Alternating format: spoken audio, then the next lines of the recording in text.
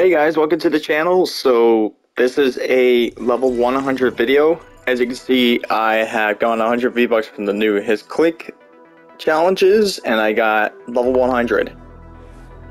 Now I'm going to explain that I'm not going to do anything else about this. Simple as that, I reached level 100 in the Battle Pass, and I got 500 Battle Stars. I am not going to be unlocking any of these rewards until I'm done. Since I am at level 100 right now, I will not be collecting any of these until I'm level 200. And I will not be collecting a lot of these until pretty much I've collected them. So, yeah.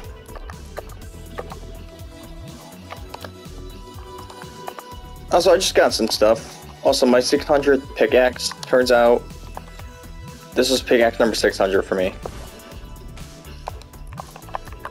So yeah, see you guys next time.